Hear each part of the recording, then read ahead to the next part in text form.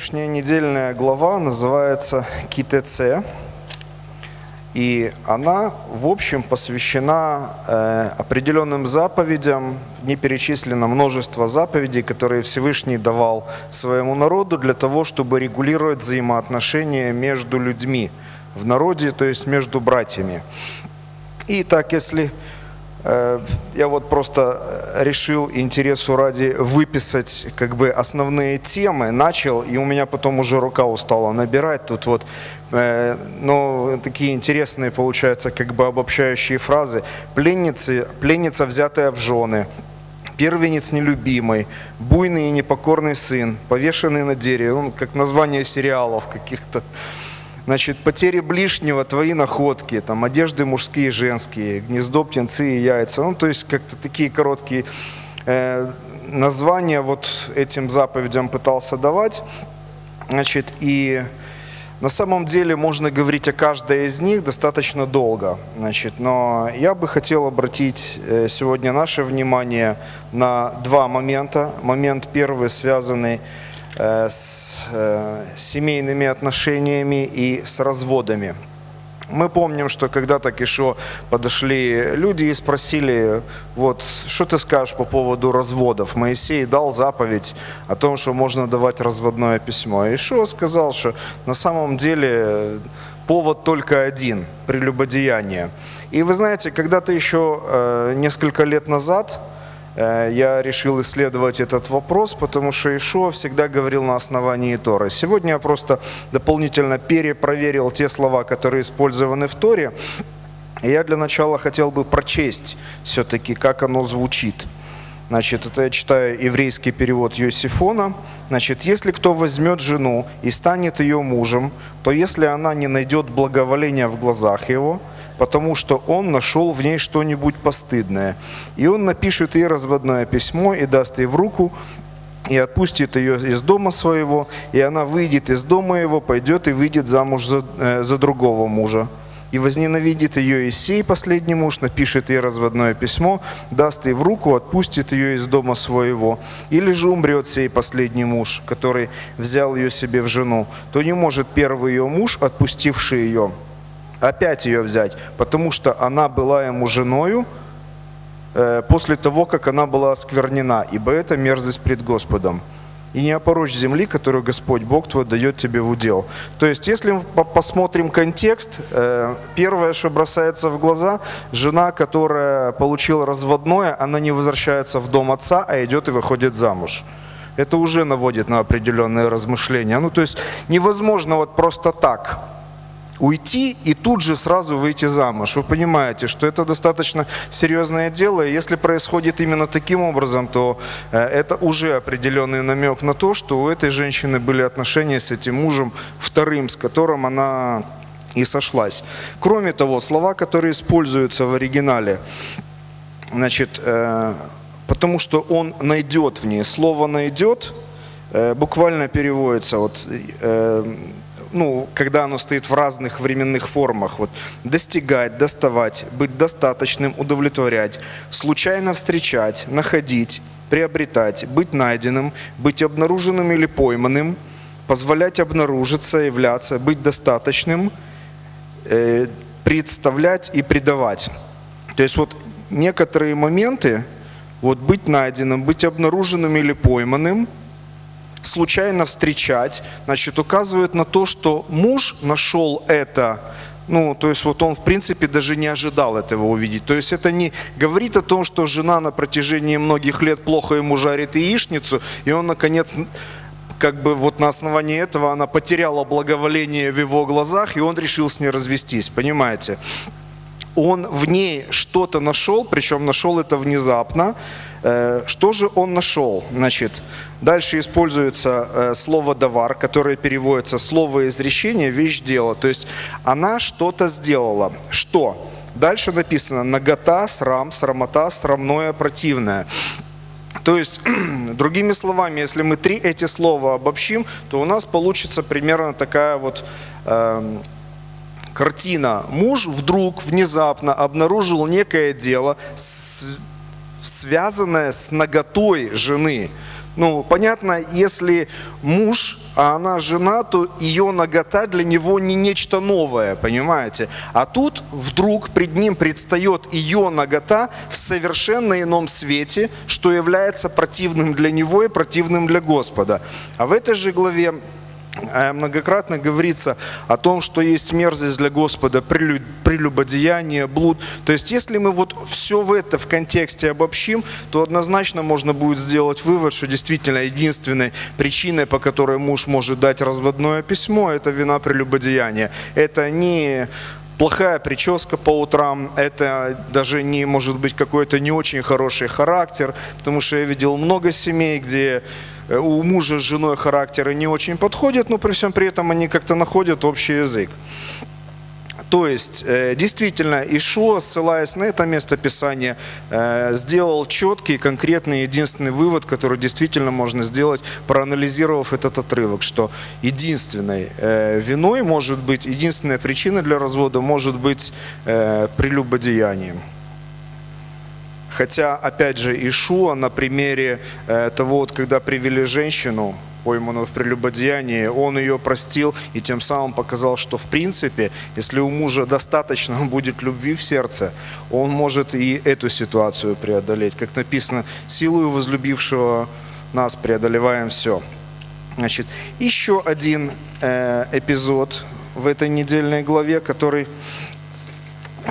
который меня заинтересовал – Значит, он очень интересно перекликается с Новым Заветом.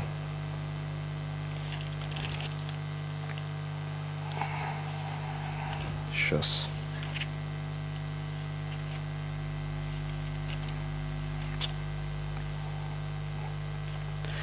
Э, значит, э, есть э, такое место, Есть такое место э, в этой недельной главе, где говорится, если ты увидишь там э, вала или осла твоего брата, который вот упал, то ты не пройди мимо, но подними его вместе с ним. Вот интересно, что в этой же главе, кстати говоря, вот это место, о котором когда-то сказал апостол Павел, э, не заграждая рта у вала молотящего, и Павел задает вопрос, а валах ли печется Господь? Так вот вопрос по поводу вот этого вот отрывка. Сейчас, я его все-таки найду. Я его выделял.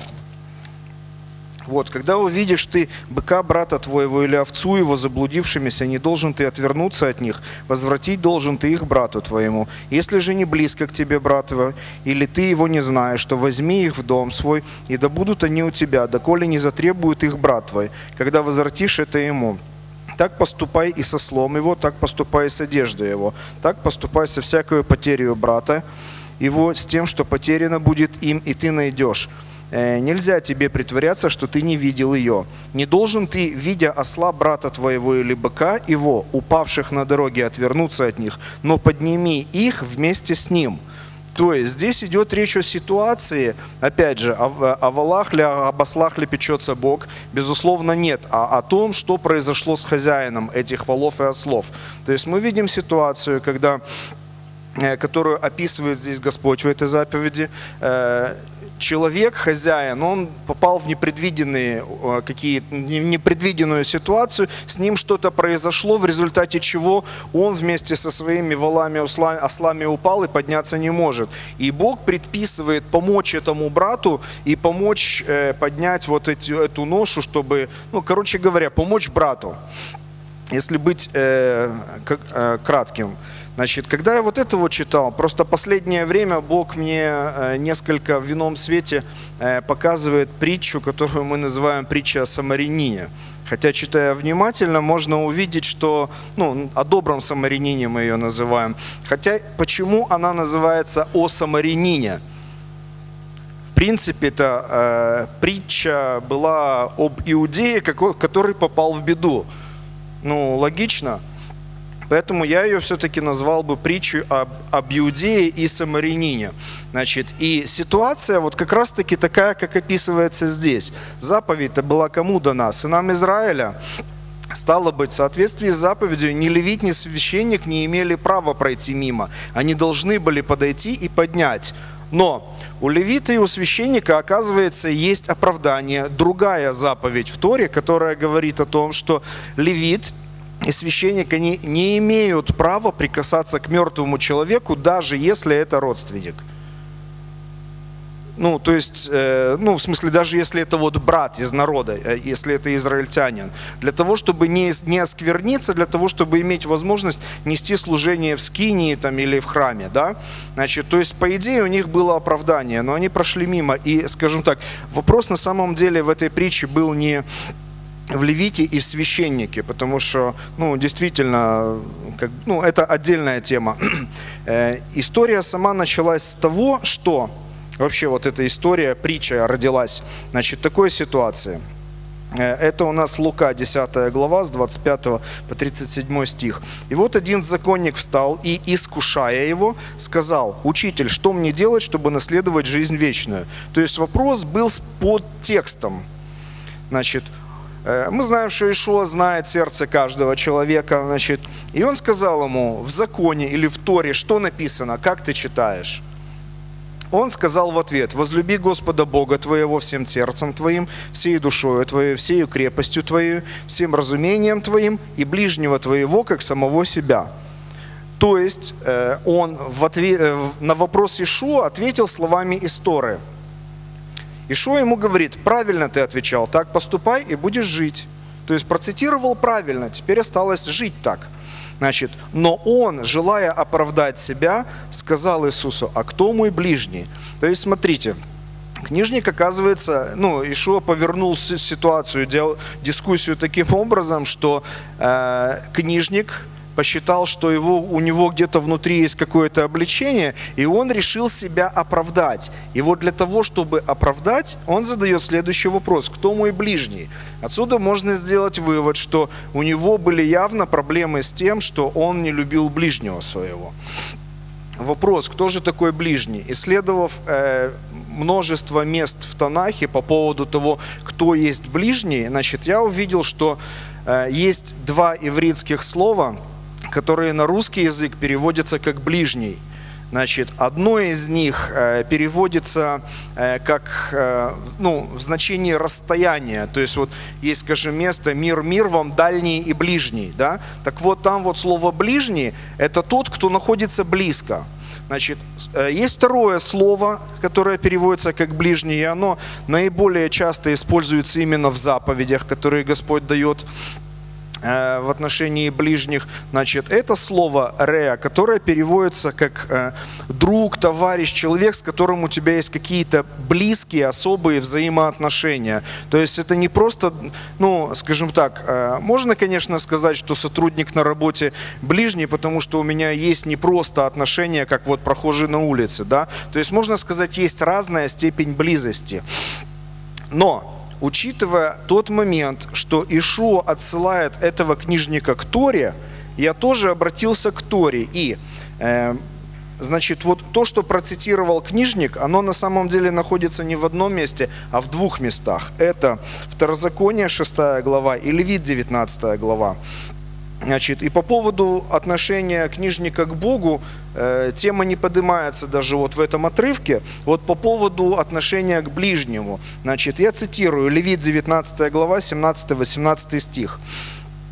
«Не враждуй на брата твоего в сердце твоем, обличи ближнего твоего, и не понесешь за него греха». Мы видим, что в этой паре брат ближний – это слова-синонимы. Следующее. «Не мсти и не имей злобы на сынов народа твоего, но люби ближнего твоего, как самого себя, я Господь». То есть из этого отрывка, из контекста можно сделать что, вывод, что э, вот в этой истории ближним может называться только сын твоего народа. Вот в этом контексте. Значит, и обратите внимание, что когда Ишуа рассказывает притчу, он не берет представителя какого-то другого народа, там египтянина, идумиянина, он почему-то берет самарянина. Никогда не задумывались, почему? Э, Помните встречу э, Ишуа с э, самарянкой возле колодца Якова? Значит, и там произошел очень интересный диалог. Когда Ишуа попросил у нее воды, она говорит, «Э, ты иудей и просишь у меня самарянки, ведь иудеи с самарянами не сообщаются. Из такой постановки вопроса понятно, что инициатива в этой вражде проистекает от иудеев. Почему? Для, для ответа на этот вопрос нам просто нужно исследовать э, историю взаимоотношений. Кто такие самаряне вообще? Откуда они появились? Э, значит, и как складывались отношения иудеев с самарянами и почему? Значит, но интересный момент, что э, когда Ишуа говорит, что я могу дать тебе воду жизни, и она там фразу такую интересную произносит, неужели ты больше отца нашего Иакова? То есть самарянка считает себя прямым потомком Якова, то есть еврейкой. Значит, и Ишуа в этой притче в конечном итоге подводит книжника к тому, что тот вынужден признать, что сыном его народа является самарянин.